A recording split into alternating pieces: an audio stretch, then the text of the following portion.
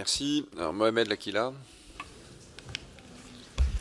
Oui, Monsieur le Président, euh, Messieurs les ministres, en découvrant tout à l'heure ce collectif pour 2019, euh, le groupe Modem et Apparenté tient tout simplement à souligner l'engagement du gouvernement, la présentation d'un texte restreint aux seules mesures de pilotage de fin de gestion et qui continue l'exercice de sincérisation des comptes ne peut qu'être saluée.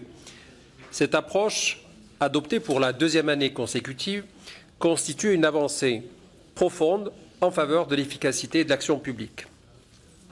Certains de nos collègues ici présents ne manqueront pas de signaler la fragilité apparente de la prévision de croissance.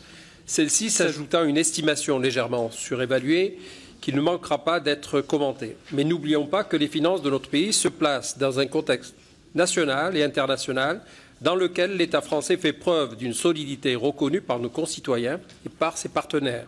Et les chiffres du dernier trimestre risquent fort de donner tort au Haut Conseil, au Conseil des finances publiques, pour aboutir finalement à 1,4 de croissance. Le groupe constate un effort constant de sincérisation, rendant ce collectif ni audacieux, ni trop prudent, mais réaliste et équilibré par rapport à la loi de finances initiale. L'augmentation des recettes avancées par ce collectif s'inscrit dans la droite ligne de nos attentes. Ces 6 milliards d'euros seront appelés à renforcer l'action du gouvernement au service des citoyens dans les défis qui nous attendent pour l'année qui vient. En ce qui concerne les dépenses, notons que celles-ci sont conformes aux prévisions votées en loi de finances initiale.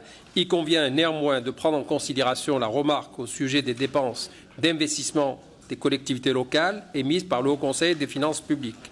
Les ouvertures de crédit ont été, certes, plus importantes que l'an passé, mais correspondent aux nécessités que nous connaissons. L'écologie, l'éducation, l'aide aux plus vulnérables n'attendent pas, les Français le savent. Quant aux annulations, elles ne traduisent qu'un report sur neuf mois au lieu de douze et n'ont pas un manque d'ambition. Il s'agit encore une fois d'être réaliste par rapport à la capacité d'action des administrations d'ici la fin de l'année. Le solde structurel connaît une légère amélioration dont nous ne pouvons que nous féliciter. Cependant, attention, ne nous éloignons pas trop des prévisions que nous avions votées. Vous savez à quel point le groupe Modem est attaché à ce sujet. Ainsi, le groupe Modem et apparenté accueille positivement ce PLFR et vous soutient, Monsieur le ministre, dans votre action dynamique et sincère. Je vous remercie.